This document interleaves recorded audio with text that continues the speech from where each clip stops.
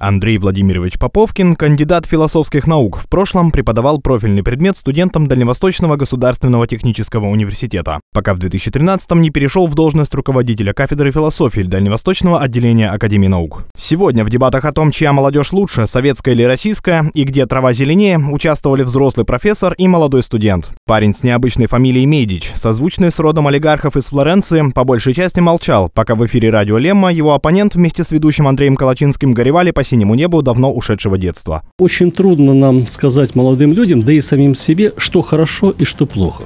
Ну, условно говоря, почему переизбрание Путина на определенный последний, ну, видимо, последний срок – это хорошо, а некоторые из них думают, что это плохо, да? Среди вопросов, поставленных ведущим, значились такие, как экстремистское ли мышление у молодежи, а также было озвучено мнение, что желание путешествовать и заниматься творчеством от безделия и от лукавого. На вопрос студента, а зачем же еще жить, если не для самореализации, у философа со стажем нашелся свой ответ – то у советского общества было такое представление. Построить лучшее общество. Зачем да? мы живем, да. И у молодежи, соответственно, было представление.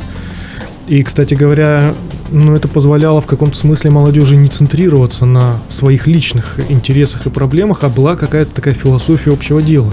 К слову, зав кафедры царицы гуманитарных наук на протяжении всего эфира подвергал критике любые проявления свободомыслия и юношеского максимализма, даже в его малейших проявлениях. Пару раз Андрей Поповкин назвал молодежь 21 века хорошей, но примитивной, а также склонной мыслить как экстремисты. Кумиры увлеченных наукой парней и девушек, миллиардера Илона Маска, запускающего ракеты и автомобили в космос, философ назвал популистом и опасной фигурой. Вот есть подобная фигура, это у Жюля Верна, это инженер. Ну, например, Сарис Смит в, не, в «Таинственном острове».